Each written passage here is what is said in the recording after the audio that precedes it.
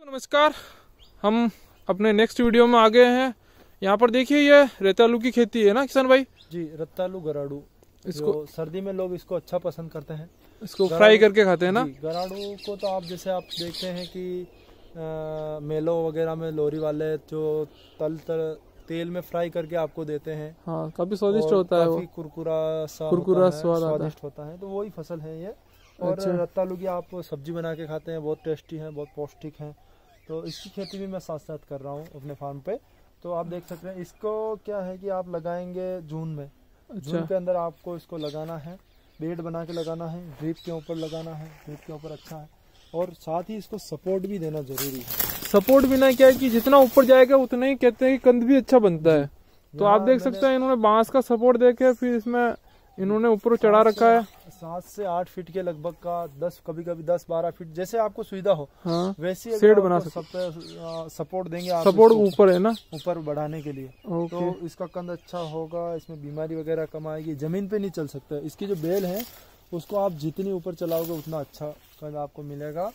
और उत्पादन आपका अच्छा होगा। जैसे आप देख पा रहे हैं ये है यहाँ एक कंद दिखेगा आपको। हाँ। जैसे ये ये वाला ये कंद ये बहुत सारे ये बाहर निकल रहे हैं। ये, ये ये कंद है। ये कंद है आपके। इस टाइप का ये बैठता ये है। कितने तक होगा तकरीबन? ये तकरीबन दो एक डेढ़ डेढ़ फीट होगा गहराई में? जी। ये तकरीबन अभी इसके हार्वेस्टिंग में दो महीने की देरी है। देरी है अच्छा। और इसको आप बारह महीने रख सकते हैं ज़मीन में। आप जितना टाइम इसको ज़मीन में रखोगे हाँ। उतनी इसकी साइज़ अच्छी बनेगी। मतलब इतना वज़न इसका हाँ और इसमें क्या है किसान भाई को फिक्स टाइम नहीं होता। जब चाहे तब निकाल के बेच सकता है। अंदर खराब नहीं होगा ये पूरे साल भर भी रह सकता है ना? जी जी पूरे साल भर रह सकता है ये बारह महीना रह सकता है। दो साल रखो तो दो साल रह सकता है।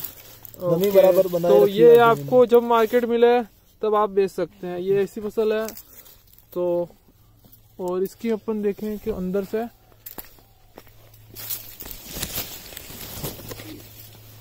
इसने काफ़ी अच्छी से ग्रो कर रखी है। तो मेन इसमें ये रहता है कि आपको इसको बांधना रहता है। जितना आप ऊपर जाएगी बेल, उतना ही कंद अच्छा बनेगा। तो आप शेड का विशेष ध्यान रखें। और इसमें बीमारी, वैसे कंद वाली फ़सलों में थोड़ी कमी आती है, जैसे हल्दी है, अरवी है। तो ये फ़सलें क्या है कि आपको कम खर्चे में अच्छा उत्पादन दे देती है। और इसका फिक्स नहीं रहता। जैसे टमाटर तो पक गया तो मार्केट में बेचना पड़ता है अपने को। जी रत्तालू गराड़ू में क्या है कि आपको मार्केट में रेट नहीं मिल रहा है तो आप इस साल मत बेचिए उसको अगले साल बेच दीजिए। उसका डबल वज़न जो है डबल हो जाएगा तीन गुना हो जाएगा। जो इस साल अभी दो किलो का वो चार किलो का हो जाएगा। अंदर ऑटोमेटिक बढ़ता रहता है। जी, इसको निकालना ज़रूरी नहीं कि आप अभी निकालो इसी साल निकालना ज़रूरी है। ऐसा कुछ नहीं है इसमें। जब आपको सुविधा लगे तब निकाल दो। और उस बीच में अपन चाहते हैं तो यहाँ पास में दूसरी फ़सल भी लगा सकते हैं ऊपर से इसको बेलों को हटा के। जी बिल्कुल तो कंद अंदर रहेगा तो भी खराब नहीं होगा। तो ये बहुत अच्छी जानकारी है। गर्मी में जैसे बेल सूख जाएगी अभी हाँ हाँ। तो उस टाइम पे आप इसको निकाल लीजिए दूसरी बेल वाली फ़सल कोई भी लगा लीजिए। कंद अंदर ही रहने दीजिए। जब आपको अच्छा मार्केट दिखे उस टाइम आप निकाल के बेच सकते हैं। ये देखिए आपने इन्होंने कितना हाइट में रख रखा है। यहाँ देखिए। हम्म। तो दोस्तों हम जिस किसान के खेत पे आए हैं आप देख सकते हैं कितनी तरह की इन्होंने सब्ज़ियाँ लगा रखी है और कितने गन्ने अमरूद सारी चीज़ें इन्होंने लगा रखी है। हम एक एक करके सारी चीज़ें कवर कर रहे हैं। तो ये एक छोटा सा इसके बारे में जानकारी थी रेतालू के ऊपर।